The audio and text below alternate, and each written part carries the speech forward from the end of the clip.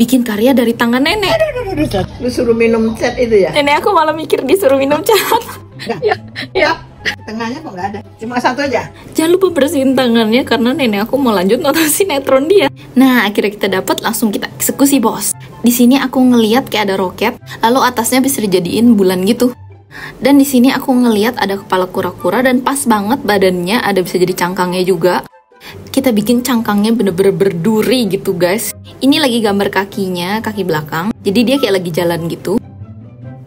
Tetap ngikutin shape bentuk tangan nenek aku untuk jadi bentuk pinggiran cangkangnya. Lalu kita kasih kehidupan di atas tempurungnya. Ini ada jemuran. Lalu kita bikin rumah-rumahnya. Dan jujur aku suka banget sih hasilnya. Udah berkonsep gitu. Kita finishing dulu dan ini dia hasilnya.